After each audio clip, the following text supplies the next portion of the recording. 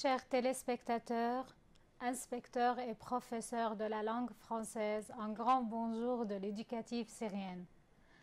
Euh, nous débutons avec vous aujourd'hui nos euh, sessions de formation à distance.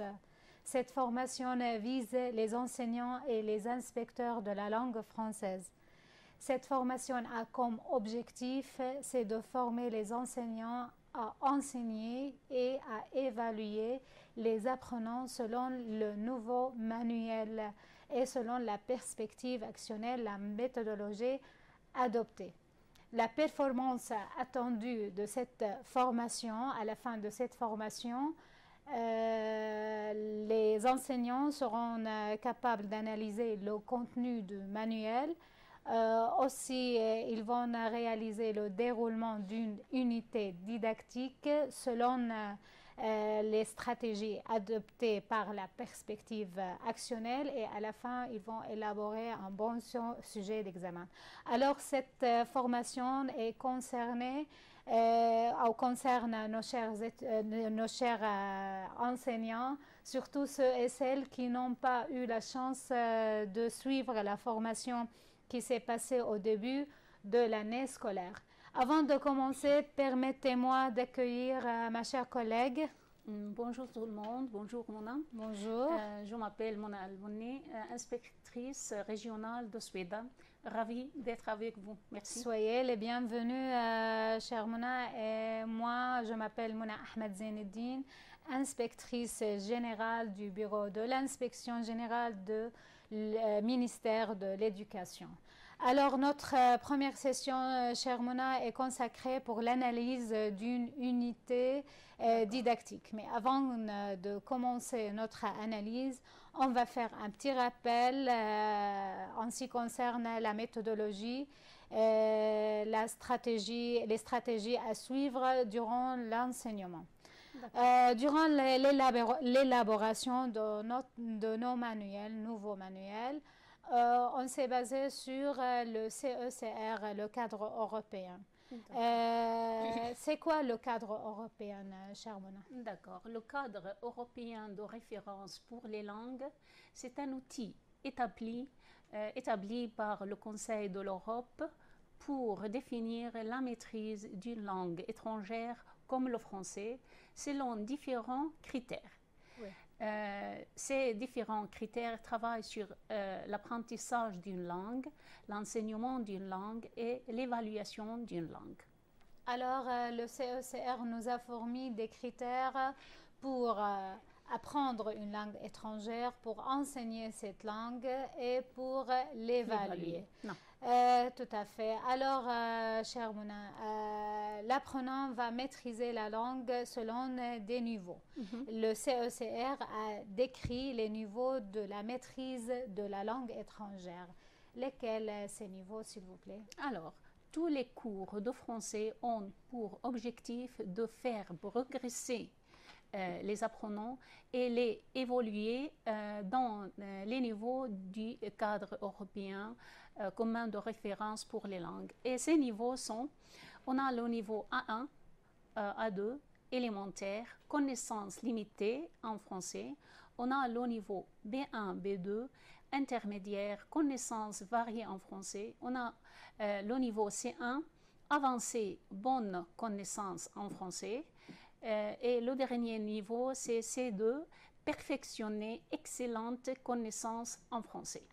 Tout à fait, Charmona. Alors, euh, avec nos manuels, mm. euh, nos étudiants arrivent à quel euh, niveau? D'accord. On a deux cycles ici euh, pour, dans nos écoles. On a le cycle de base. Alors, à la fin de, de ce travail, de ce cycle, c'est-à-dire l'apprenant arrivera au niveau A1. Et on a le cycle secondaire, alors avec lequel l'apprenant ou bien les apprenants arriveront au niveau B1, euh, seuil pour la section scientifique, euh, B1 euh, intermédiaire pour la section littéraire.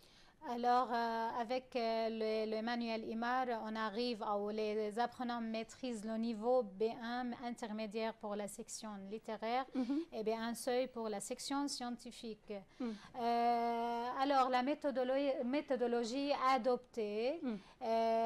en élaborant nos manuels, on a dit que le CECR a fourni des critères pour apprendre euh, une langue euh, étrangère. Mhm.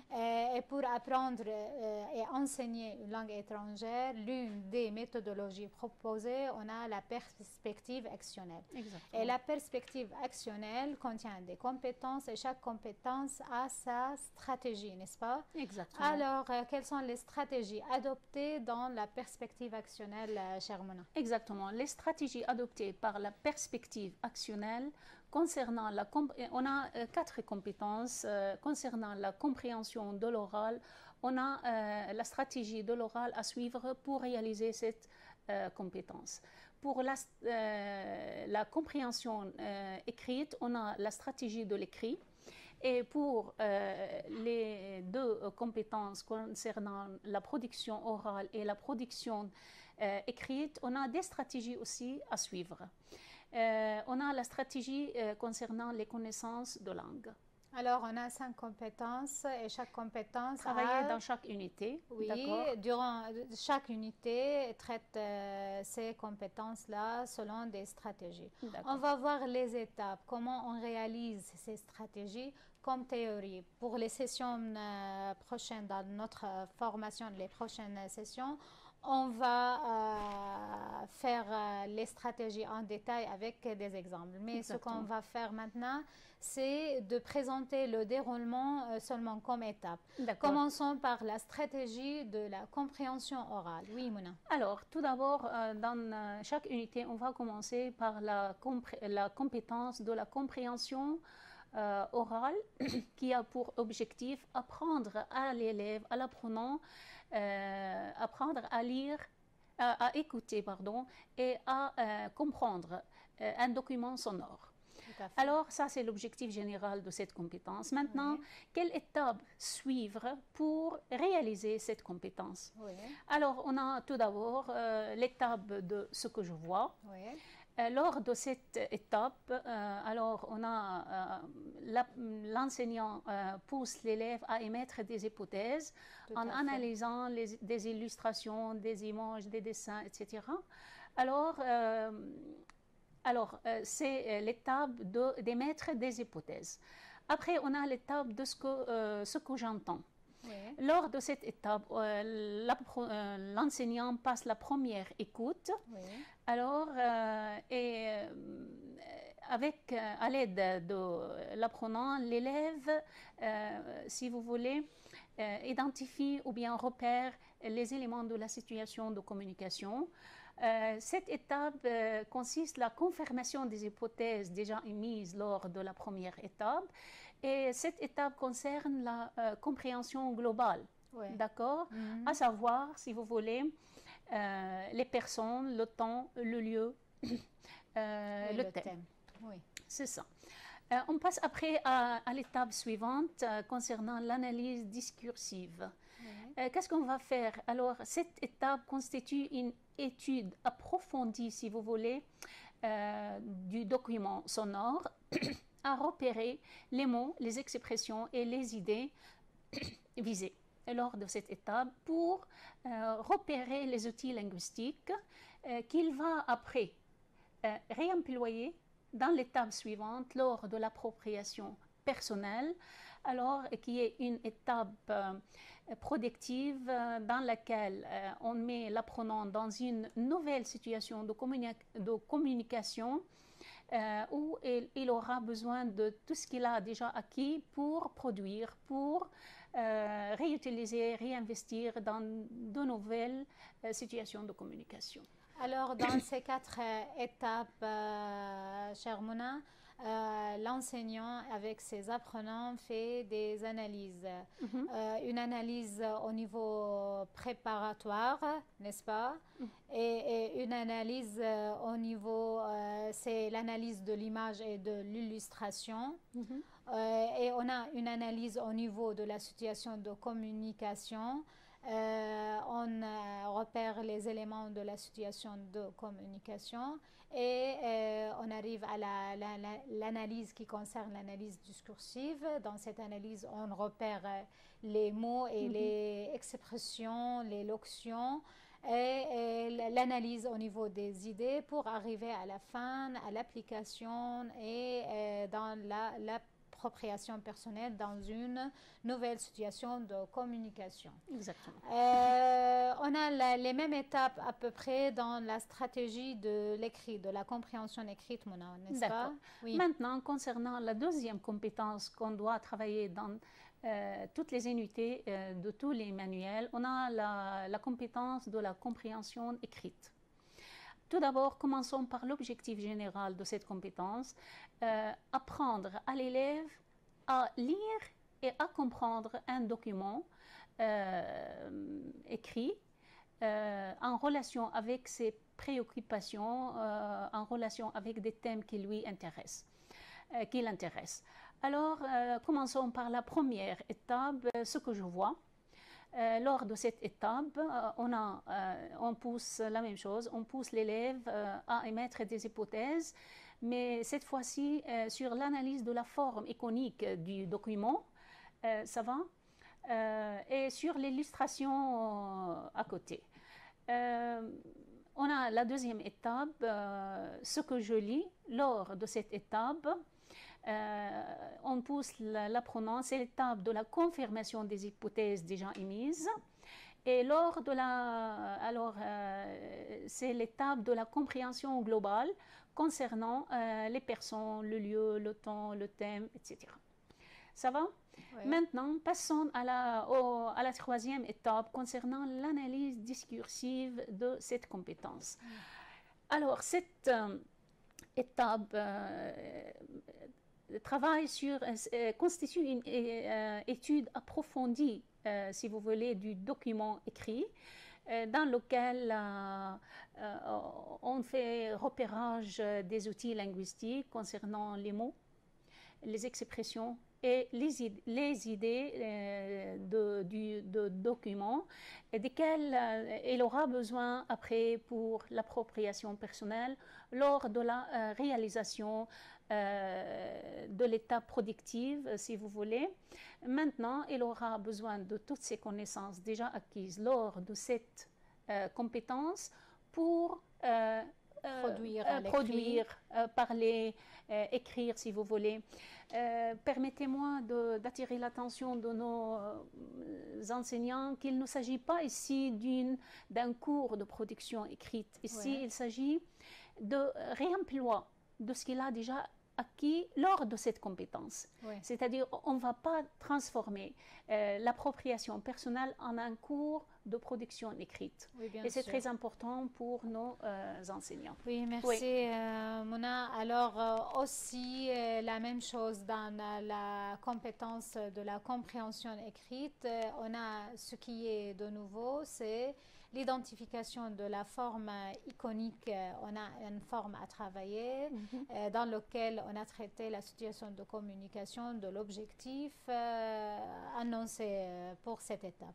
Euh, et on a l'analyse aussi en ce qui concerne les éléments de la situation de communication et l'analyse discursive, le repérage des mots, des expressions et les idées pour à la fin qu'on arrive, comme vous avez dit, Mona, à l'appropriation personnelle et à la production à l'écrit, mais concernant l'objectif n'est pas autre chose. Mm, d'accord. Oui, euh, on passe, euh, Mona, euh, à la euh, stratégie de l'expression orale et l'expression écrite.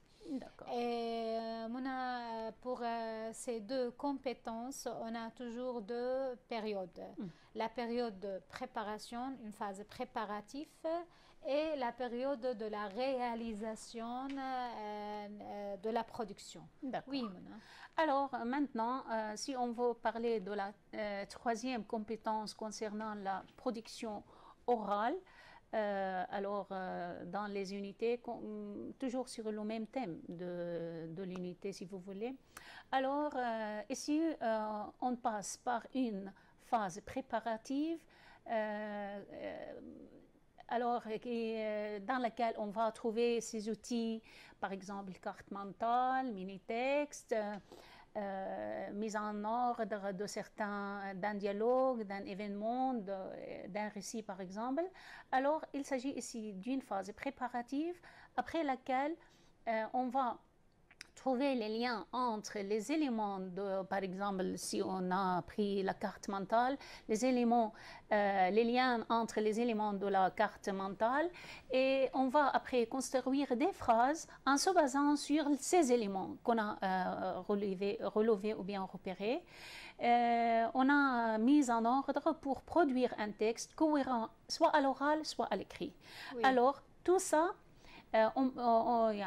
l'apprenant euh, doit passer par cette phase pour avoir à la fin de, de ce travail, pour avoir les connaissances nécessaires à l'étape suivante qui est la réalisation, si vous voulez, de, de ce travail, de la production orale. Alors, Mona, soit orale, soit écrite. Oui, bien sûr. Alors, dans la la phase préparative euh, de la production écrite, on a plusieurs activités. L'objectif de ces activités est de euh, repérer les outils linguistiques nécessaires à utiliser dans la production. Mhm. Ces activités sont variées, ça peut être des cartes mentales complètes ou à compléter, des mini-textes ou des textes à analyser et on repère euh, le lexique et les locutions euh, à utiliser après et peut-être euh, construire des phrases, remise en ordre, etc. Alors, on passe à, la deuxième phase, la phase de, la, réalisation. Oui, ah, on commence par quoi Comment faire, comment réaliser cette étape-là? On a la lecture de la consigne. on doit lire la consigne en détail pour euh, en dégager la situation euh, de, communication, euh, pour chercher des idées sur lesquelles on va, qu'on doit travailler. on doit noter des mots clés au tableau. Tout ça pour accorder, après avoir passé par ces étapes, la lecture, le repérage de la situation de communication, chercher des idées et noter des mots au, tableau, c'est-à-dire maintenant j'accorde le temps nécessaire à mon élève, à mon apprenant pour la réalisation. alors, suivant ces, ces données qu'il a maintenant devant lui. Après l'étape de la réalisation, il y a la correction. Euh, ici, euh, le rôle de euh, l'enseignant, il est animateur, c'est-à-dire il n'intervient dans le travail, il dirige de loin le travail des apprenants. Et c'est ça.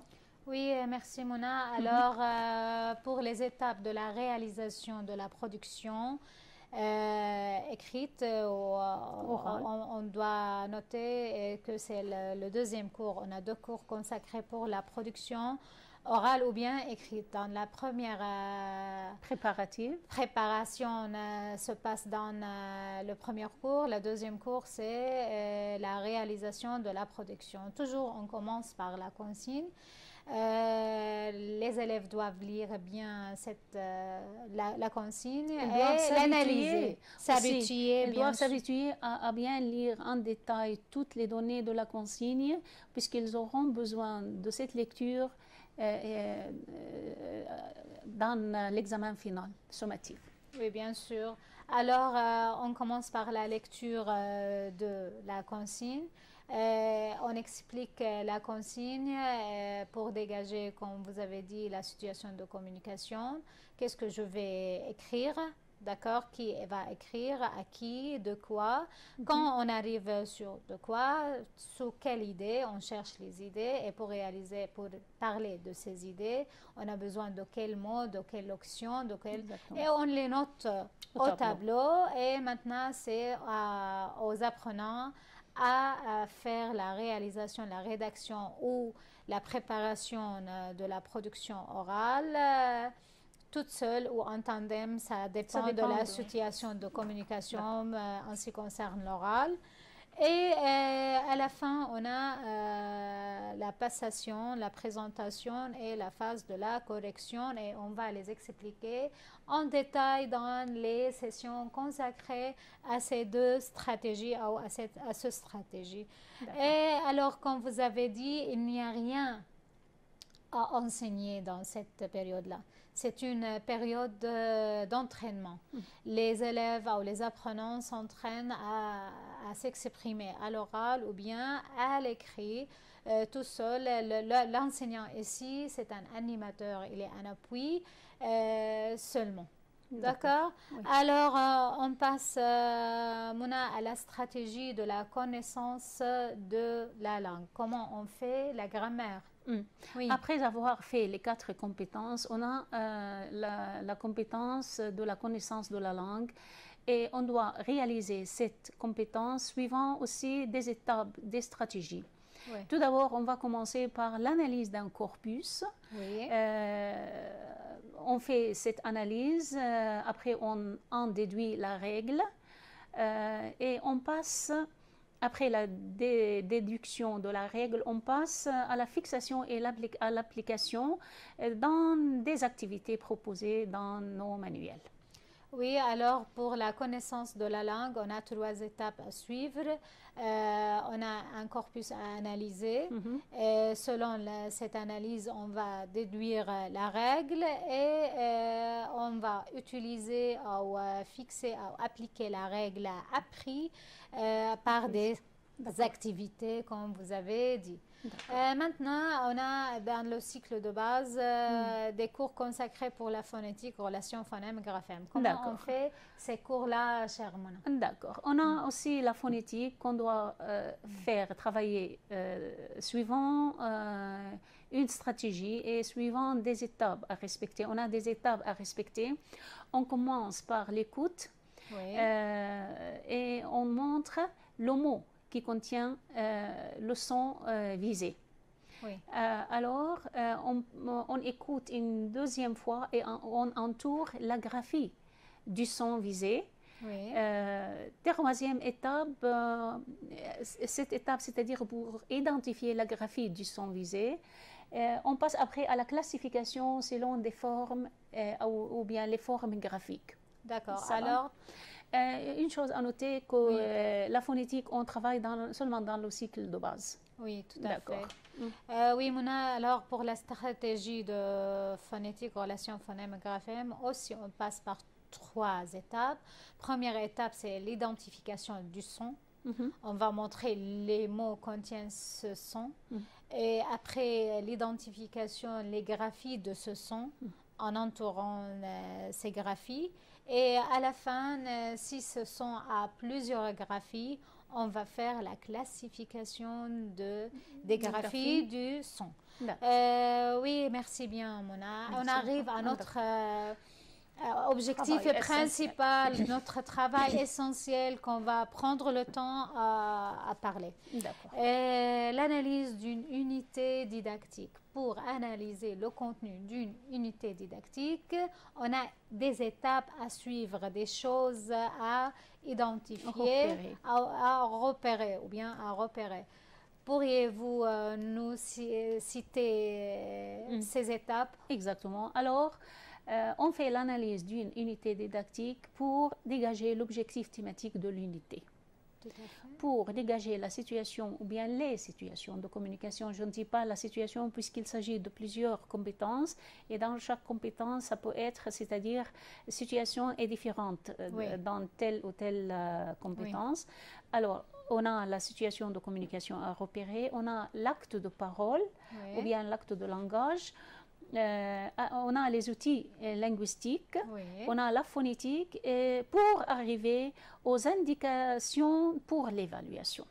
Tout à fait. Alors, pour analyser une unité didactique, on a à déterminer l'objectif thématique de cette unité, Mm. les situations de communication dans lesquelles on a traité cet objectif, les actes de langage utilisés pour réaliser aussi l'objectif et les, outils linguistiques, euh, la phonétique s'il y a lieu et les indications pour l'évaluation. Prenons un exemple, le livre ou le manuel du baccalauréat. Exactement. Ce livre, on, a, on arrive à quel niveau, quel matériel utilise-t-on euh, en réalisant les périodes euh, dans, euh, concernant ce livre, ce manuel, le nombre d'unités, Exactement. nombre de périodes, Mouna? Oui. Alors, euh, commençons, p- bien, prenons un exemple, euh, la classe de, du bac, Oui. euh, de 12e.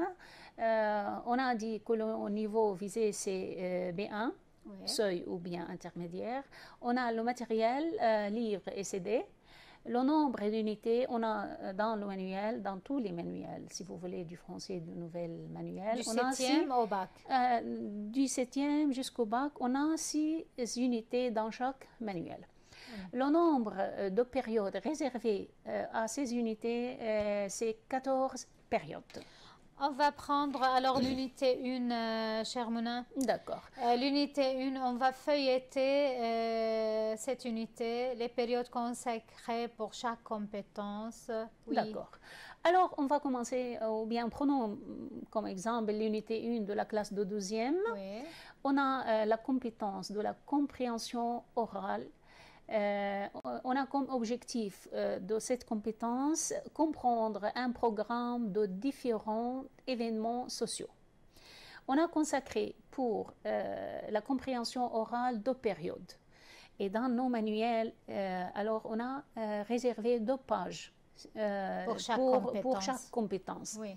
Alors, pour la compré- compréhension orale, on a deux pages divisées sur deux périodes. Oui. Euh, pour la compétence de la production euh, orale, euh, on a l'objectif de cette compétence parler d'un événement social dans sa ville ou dans son village. Oui. Tu- euh, aussi, on a réservé deux périodes pour ce travail et on a divisé euh, en deux pages. Euh, on a la, la compétence de la compréhension écrite. Euh, L'objectif aussi de cette euh, compétence, comprendre le calendrier des événements sociaux, Oui. toujours divisé sur deux. Oui. Euh, on a la grammaire. Euh, euh, L'objectif euh, de ce, de ce travail, c'est s'exprimer sur le but. Oui. Alors, euh, on a réservé aussi deux périodes pour travailler la grammaire ou bien la connaissance de la langue. On a la production écrite comme compétence. Euh, L'objectif, euh, c'est de rédiger un message dans un forum pour parler de certains événements sociaux. Et on a euh, aussi réservé deux périodes pour la réalisation de cette compétence. On arrive, après avoir fait toutes ces compétences durant l'unité toute entière, on arrive à la tâche finale. Alors, qu'est-ce que c'est Qu'est-ce qu'on va faire Quel est l'objectif de la tâche finale? Euh, L'objectif de la tâche finale de l'unité 1, euh, c'est organiser un événement social. Tout à fait. D'accord? Et on a ré- réservé la même chose, deux périodes. La première période concerne la préparation à la tâche finale et la deuxième période, alors, sera euh, faite euh, à la fin de l'unité suivante. D'accord. D'accord Euh, Alors, euh, vous avez dit, Mouna, que vous- nous avons euh, 14 périodes. Mm. Vous avez cité 12 périodes. Il nous reste il deux reste périodes. deux périodes. Ces deux périodes Pour, sont euh, réservées Oui, à l'entraînement, aux activités, à l'étape de je m'entraîne. D'accord. après avoir fait l'unité, on a après je m'entraîne.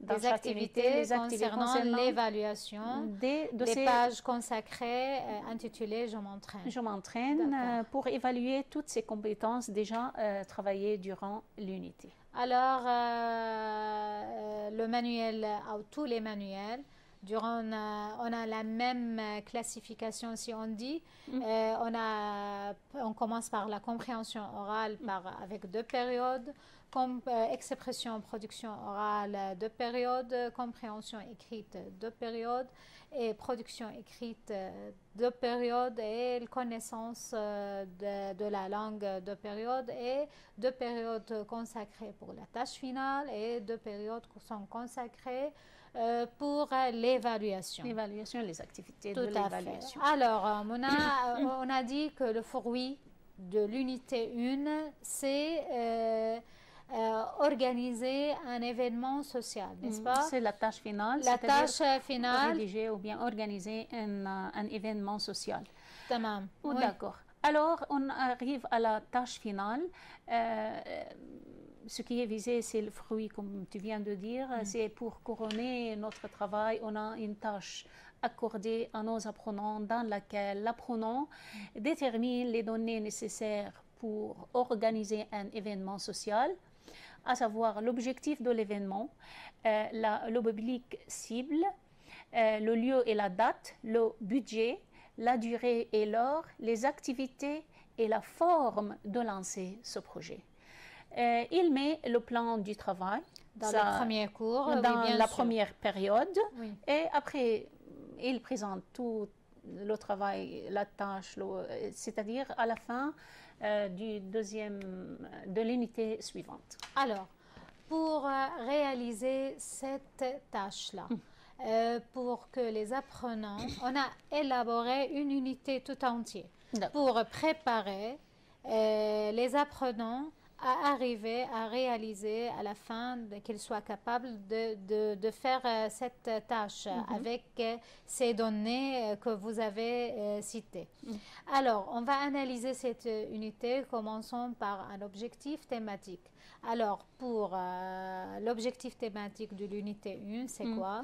Alors, tout d'abord, on va commencer par la couverture de l'unité. Euh, de laquelle on va repérer l'objectif thématique de l'unité, qui est ici pour l'unité 1 du, euh, du bac, c'est-à-dire la vie sociale et les fêtes et les événements sociaux. Oui, bien sûr. Euh, Alors, toujours la page de la couverture sert à dégager l'objectif thématique, de l'unité. D'accord. Alors, deuxième étape de notre analyse, c'est de déterminer ou bien identifier euh, les situations de communication, dans laquelle, mhm. lesquelles on a euh, traité cet objectif. Exactement. Oui. Commençons, par, commençons par la compréhension et interaction orale. la situation de communication de cette compétence est une interview, interview entre, pour parler d'un événement social. Alors, première situation de communication, c'est une, interview, euh, entre deux personnes parlant d'un événement, social. Oui. Euh, pour la euh, production orale, on a la situation de communication, on a des annonces, des annonces sur le même objectif thématique, toujours les événements sociaux. Alors, des annonces qui présentent un événement euh, social. Pour la compréhension écrite, euh, comme situation de communication, on a un calendrier. Alors, euh, ça c'est une nouvelle, si vous voulez, situation de communication, toujours parlant de, du même thème qui est les, la vie sociale et les événements sociaux. on passe après à la quatrième compétence concernant la production écrite. Et la situation de communication euh, qu'on va euh, travailler, il s'agit d'un forum, euh, d'accord, qui parle de différents événements sociaux.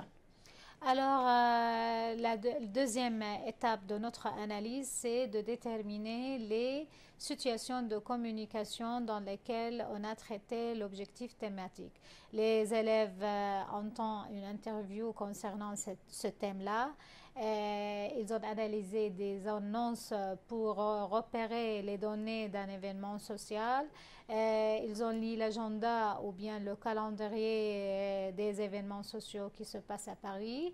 Et après, ils, étaient invités pour rédiger un message électronique dans un forum pour parler d'un événement social. Toujours le même thème dans de différentes situations de communication. Toujours, on a dans les deux productions, orales et euh, écrites, un objectif ou un acte de langage, mm, acte de parole visé. Oui. D'accord. Maintenant, euh, pour repérer l'acte de langage ou l'acte de parole, euh, ici, toujours parler euh, dans la production orale, on a comme acte de parole parler d'un événement social, toujours le même thème.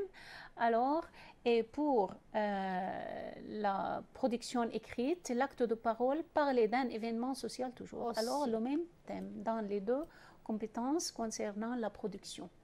Alors, l'acte de langage et de parole concernant l'unité 1, c'est parler ou bien présenter un, événement, euh, social. D'accord. Et on a à repérer, quatrième étape de notre analyse, c'est de repérer les outils linguistiques mm. traités dans cette unité. Mm. Et les outils linguistiques, comme euh, on sait, Mouna, euh, se divisent en trois parties, la grammaire ou la connaissance de la langue, le lexique et les expressions et les locutions euh, utilisées pour réaliser euh, cet objectif. D'accord. oui. Quels sont les outils linguistiques traités dans l'unité Dans l'unité 1, comme études linguistiques et commençons par euh, le point grammatical. Euh, euh, le point grammatical visé, c'est l'utilisation de la conjonction de but. D'accord à repérer, on a à repérer l'élocution suivie du subjonctif, les expressions suivies de l'infinitif ou d'un nom. On a par exemple pour que, afin que, pour, afin de. Ce sont des locutions, des, expressions concernant le point euh, grammatical qui est euh, l'utilisation euh, du but.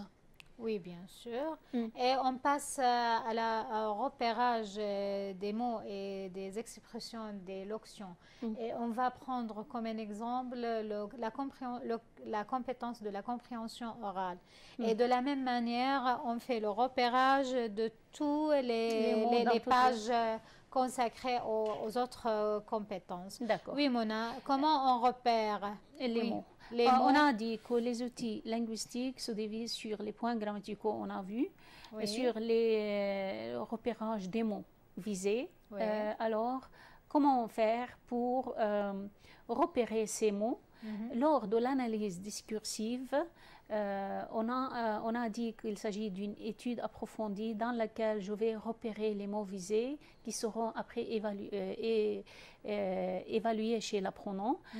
alors, on a la rubrique vocabulaire qui contient les mots visés, par exemple rythmé, marqué, débuté, commencé. Ce sont, et toute cette liste, c'est très important, c'est à retenir parce qu'ils sont visés aux examens, euh, à l'examen final. Euh, on a aussi, on peut repérer les mots, pas seulement dans l'encadré, aussi dans les activités. travailler. Lors de ces activités, on a des mots visés qui sont au centre de nos intérêts et sur lesquels il sera évalué après. Par exemple, le pronom culturel, interculturel, de loisirs, ce sont des mots euh, qu'on voit dans les activités euh, et qui sont très importants, qui sont visés aux examens finaux. On a par exemple la célébration, le carnaval. Tous ces mots sont cités dans les activités. Alors, on peut repérer les mots dans l'encadré et dans les activités. Ces activités concernent l'analyse discursive. Euh, Exactement, c'est-à-dire la compréhension détaillée. Oui, durant l'analyse du, discursive, on fait ce, ces repérages. Mm. Alors, tout ce qui est visé dans les activités de l'analyse discursive mm. concerne les mots visés à évaluer euh, à l'examen. Mm. D'accord Ce sont les nouveaux apprentissages, nouveaux lexiques, nouveaux euh, expressions et locutions. D'accord. Euh, alors, on doit classifier ces outils par verbe, nom, locution et expression toujours euh, pour euh, faciliter, euh, se concentrer. Se concentrer bien avec nos chers étudiants et, ils seront faciles à retenir mm. par les étudiants. D'abord, on, les a appris dans un contexte. Maintenant, on va se concentrer sur C'est pas donné aux, aux élèves. D'accord. Mais on a des boîtes à outils pour les élèves. Mais c'est une analyse pour l'enseignant. Mm. L'enseignant doit mettre ses mots à part. Mm. Euh, on va voir pourquoi faire. Il va travailler après, mais l'apprenant apprend ces mots dans un contexte. Oui, bien sûr. D'accord. Tout, à fait. Euh, maintenant, on, arrive euh, à, l'indication pour l'évaluation, chère Mona. Mm. Euh, comment euh, on fait ça euh, Quelles sont les indications pour l'évaluation concernant l'unité 1, s'il vous plaît? Hmm. Alors, tout le travail, toutes les compétences qu'on a déjà appris, qu'on a travaillé. alors, pour arriver, on, a appris beaucoup de, mots, de locutions, d'expressions, de connaissances, d'accord? Alors, euh, on est arrivé, euh, pour arriver à la fin, euh, aux indications pour l'évaluation. Alors, maintenant, l'apprenant, lors de cette étape, lors de l'étape de l'évaluation, maintenant, l'apprenant identifié. On ne dit pas sera capable d'identifier maintenant, il est capable On va vérifier. D'accord? Il, est, il identifie, on vérifie ce qu'on a déjà appris euh, lors de l'évaluation. On identifie euh, bien, ou bien l'apprenant identifie la forme, repère les éléments de la situation de communication, euh, par exemple d'une interview, d'un calendrier, d'un forum, d'une annonce, sur un événement social. Alors, les indications d'évaluation, si je comprends bien de toi, Mona, euh, ça sert euh, pour euh, faire les questions de l'examen, n'est-ce pas? Exactement. Alors, nous aurons dans l'examen, selon l'unité 1, mm. d'accord, des questions concernant l'identification de la forme où ce sont des formes déjà traitées dans le manuel. Et aussi, euh, les apprenants vont repérer les éléments de la situation de communication de ces formes-là. Exactement. Euh, tout à fait. les personnes, les lieux, le euh, temps et le, thème. D'accord. Alors, c'est pour, en ce qui concerne la forme et les éléments de la situation de communication et la compréhension globale d'un document, mm. oral ou bien écrit. Mm. Oui. Euh, l'apprenant repère les données d'un événement social.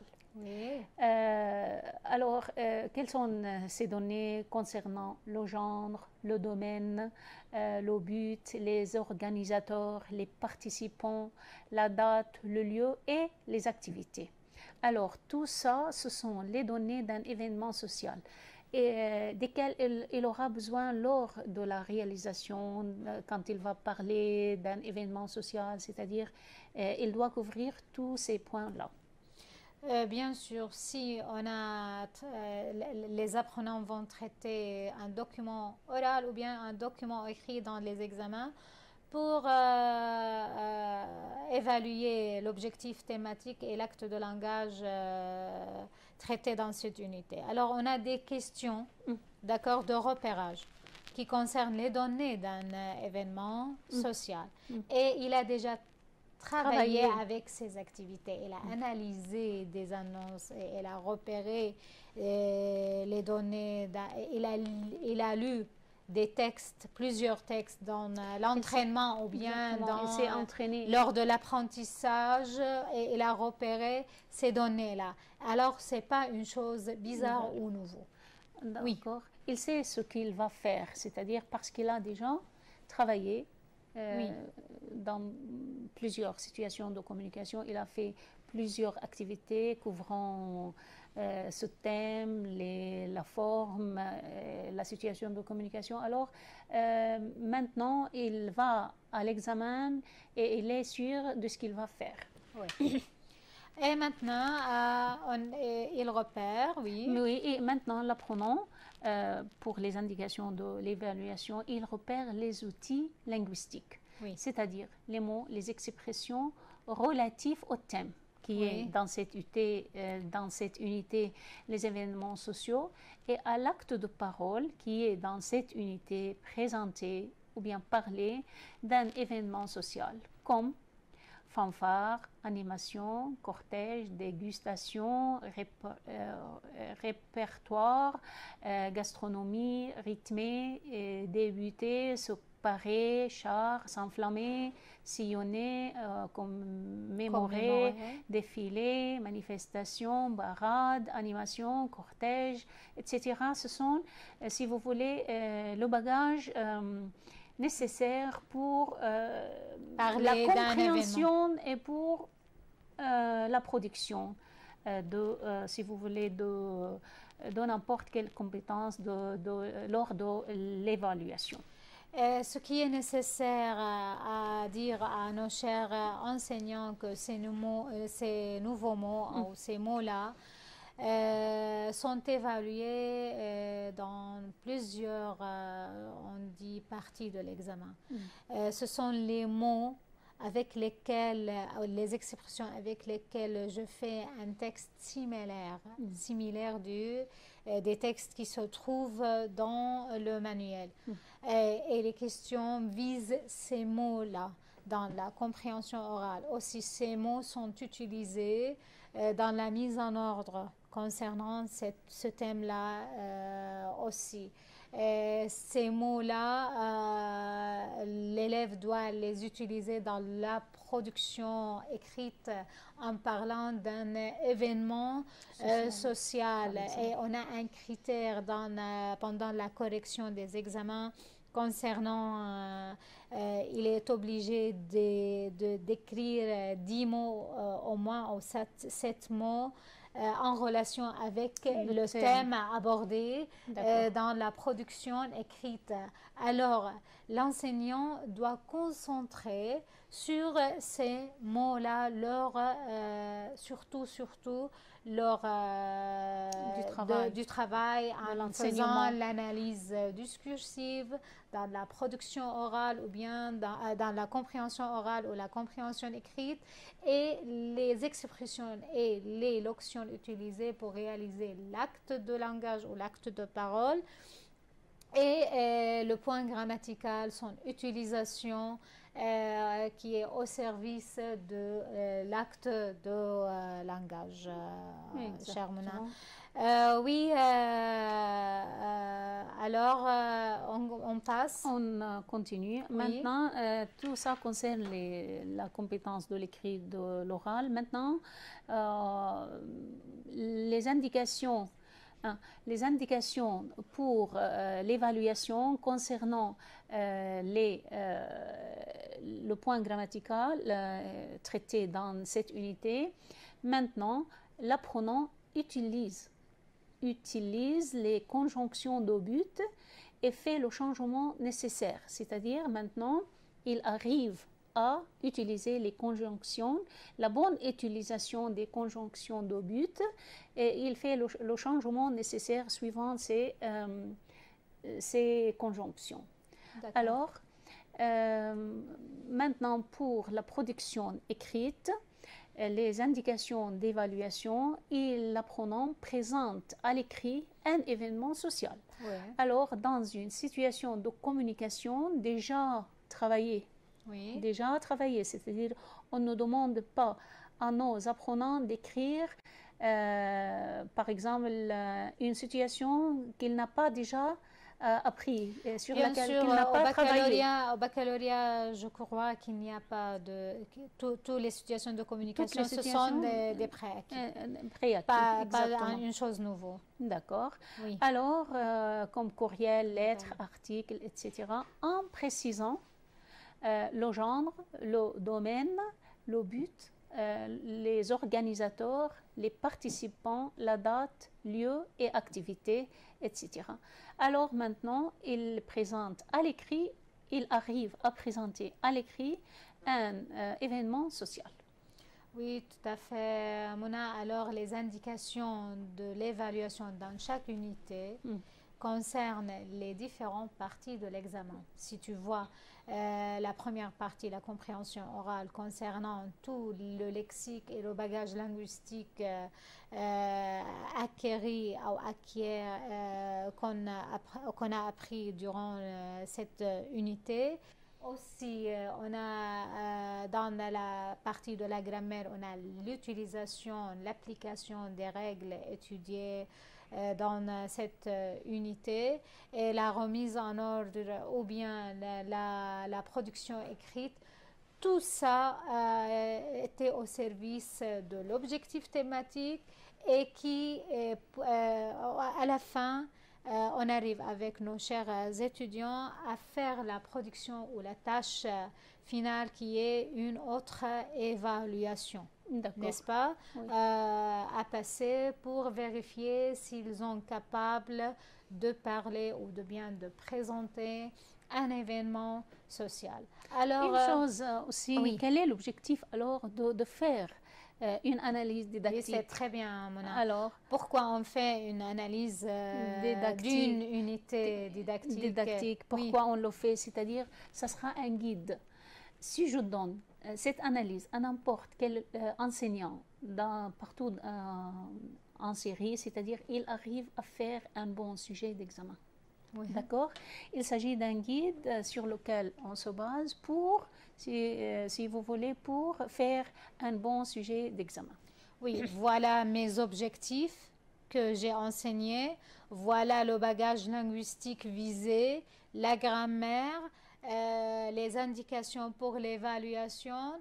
Alors, si c'est moi, Mona, qui a donné cette unité, et, toi, tu es dans un autre euh, école au gouvernorat, et je t'ai demandé de faire un examen pour mes élèves concernant cette unité, mes élèves doivent être capables de passer cet examen avec une très bonne note. Oui, parce qu'il s'agit, ce qui compte, c'est la note. alors, l'analyse est très nécessaire. Et il y a un autre objectif de cette analyse, euh, chère Mouna. Euh, ça m'aide de déterminer euh, les préacquis qui sont nécessaires pour que l'apprenant sera capable de, me suivre, de continuer avec moi euh, cette unité aussi. Si j'ai besoin de, faire un cours de rattrapage, ça dépend de l'évaluation diagnostique qui fait au début du cours ou bien au début, début de l'année scolaire.